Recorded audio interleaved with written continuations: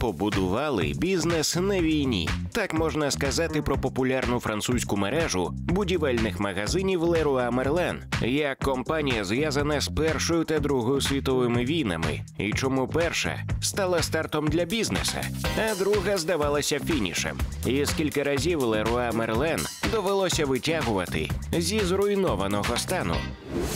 Відкрити магазин з будівельними товарами та товарами побутового вжитку було радше випадковістю, ніж метою.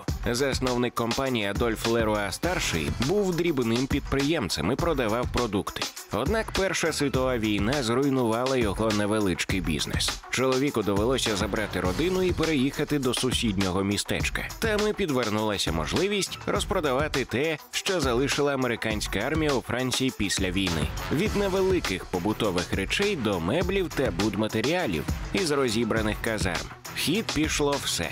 В ті часи люди якраз відбудовувались після руйнівної війни, тому бізнес Леруа швидко набрав обертів.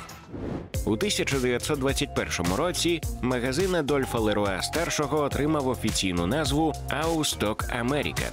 А вже через пару років бізнес перейшов під керівництво його сина Адольфа Леруа молодшого. Той одружився з дівчиною з родини торговців Розою Мерлен. От і склався пазл назви компанії. Та почався новий етап в бізнесі. Дружина разом із чоловіком зайнялася магазином. Вони відразу ж розширили асортимент, підписали контракти з постачальниками на різну продукцію та навіть відкрили власне виробництво будівельних матеріалів з дерева. У 30-х роках родинний бізнес Леруа та Мерлен процвітав, і, хоч за межі одного магазину вони не вийшли, мав популярність та широкий асортимент. Однак Друга світова зруйнувала всі напрацювання. Францію окупувала німецька армія. Магазин, виробництво та автомобілі Леруа Мерлен було конфісковано окупантами. Бізнес відібрали. Адольф молодший та його дружина залишилися ні з чим. Все, що вони наживали протягом десятиліть, прийшло німцям.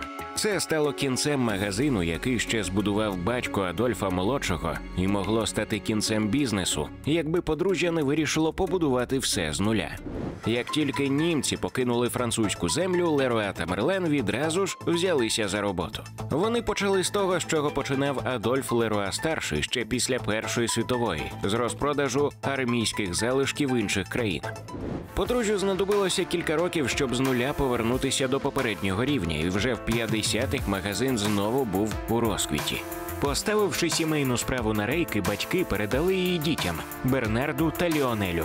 А брати вже взялися за масштабування бізнесу. Один за одним вони почали відкривати нові магазини Леруа Мерлен, і в 70-х роках ті вже були в різних куточках Франції. Та на великому ринку в компанії швидко знайшлися великі конкуренти, і наприкінці 70-х у фірми почалися скрутні часи. Самі брати не справлялися. Тож спочатку довелося продати частину бізнесу, а вже у 81-му компанія і зовсім перестала належати родині Леруа Мерлен.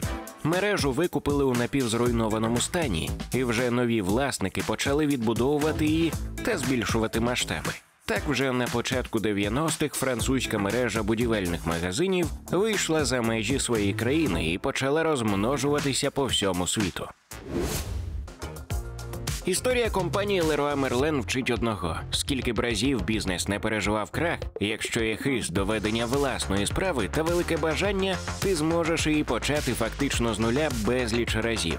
Однак це дано не всім поколінням, тож деколи простіше просто продати те, що зробили твої предки, ніж тягнути напівмертвий бізнес.